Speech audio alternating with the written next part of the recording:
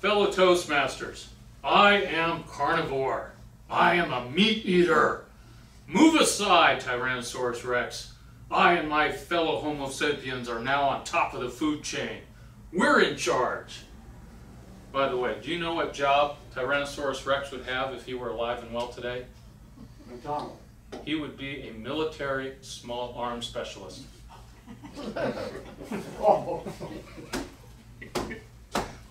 Hopefully the jokes get better. And as a primary predator, it is our job to make fun of the herbivores out there. For example, what does vegetarian mean in Cherokee? It means poor hunter. now this is the way I thought. This is the way I was up until about two years ago. Then I woke up one day and my ankle was killing me. It was on fire. It felt like I had stepped in a bear trap. And as I stumbled around the rest of the day, I thought to myself, there's only one thing that can fix this. I need more protein. So that day for lunch, I had a double fat hamburger wrapped in bacon with plenty of cheese. And I had a super big helping of those greasy salt fries. And like usual, I had my four cups of high fructose corn syrup Coca-Cola. Those self-service soda stations were made for gluttons, I mean carnivores like me. I was going to get my money's worth. And let me tell you, I felt younger when I finished those meals. All I had to do was go look in the mirror, and all that teenage acne just came bursting right through. Felt just like I was back in high school. But as you can probably guess, that did not solve my problem. In fact, that night, my ankle was killing me. I had it hoisted on three or four pillows above my head. I had it wrapped. I was eating ibuprofen like jelly beans. That was just to get through the night. So I showed up to my doctor the next day, and my doctor, a general practitioner, said, well, did you ever hurt yourself? And I said, well, I am a trail runner, so every now and then I sprain my ankle, I fall into a little hole. He said, that's all it is. That's, it's just acting up. Go home, sleep it off, drink plenty of water, and keep up with the ibuprofen. Well, after two weeks of extreme pain, it did end up going away until about two months later when it happened again.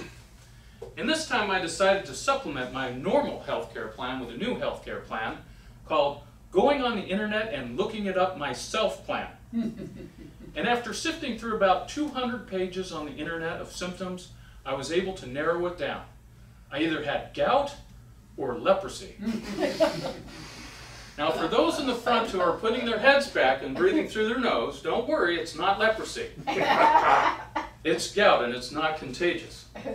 So I managed to finagle a specialist this time, and the specialist confirmed after a blood sample that yes, I had too much uric acid, was not being gotten rid of by my liver, and I had gout. And I said, well, what can I do about that? And she said, well, lucky you, this is America, and we have a pill for everything. I said, really? I said, do you have a list of what the side effects are? And she said, sure. And she took out three pages of side effects. And I started going through them. I can live with that, I can live with that, I can live with that. Until I got to the side effect that says, your sexual organs will shrivel and fall off. That was the one I just couldn't live with. I'm sorry. So I said, okay, there's got to be another solution. She said, yes, you can give up everything worth eating. You can no longer have alcohol. You can no longer have meat. You have to go gluten free. You can't have yeast in any form at all. And every now and then, you basically are becoming a vegetarian who can have small amounts of chicken and maybe half an order of fish. And she said, are you lactose intolerant? I said, no. She said, good news, you can have milk and dairy. And I said, oh, thanks for the good news, doctor. I feel so much better now. And she said, I can tell by your reaction that you are going to fail on this diet. you are going to fail, and let me tell you, the pain is going to be huge. Huge pain, believe me, huge pain. Believe me, huge, huge pain. And when it happens, you'll be running back here saying, Where's the pills? Where's the pills? Well, she must have been an amateur psychologist because she knew exactly what to say to make me never want to see her again. I left that place and resolved to transition from predator to prey, from meat eater to plant lover, from cow eater to glorified cow.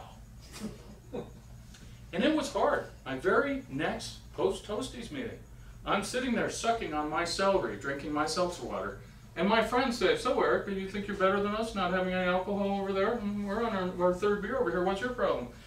And I said, Guys, for the last two years, I've been struggling. I can't eat what I used to like to eat.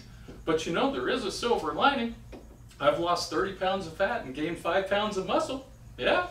My blood pressure is down to 117 over 70. I have a 58 um, when it comes to my pulse. I don't drink, I don't smoke, I'm not eating steak. I'm going to live forever, guys. And you know what they said to me? They said, no drinking, no smoking, no steak. What's the point of living? That's what they said. Obviously, guys who, if they don't wake up with a huge hangover, think they wasted the whole evening the night before. And that's what my friends are telling me. You can imagine what my enemies are saying. oh, hey, we used to be winning this battle till that lout with gout came by. Now we're in a rout. Oh. Or here's one. He used to have the best parties. We loved all that alcohol. But now that he's a teetotaler, he's lost all of his clout. And here's one my wife uses, unfortunately, way too often. No steak for daddy. Give him the leftover trout. So, unfortunately, I've now become empathetic. That's a new word. It combines empathy and patheticness. and I now understand that vegetarian no longer in Cherokee means poor hunter. It means former, formidable hunter. Now, seasoned, sober, salad eating, fitness fanatic. Fellow Toastmasters.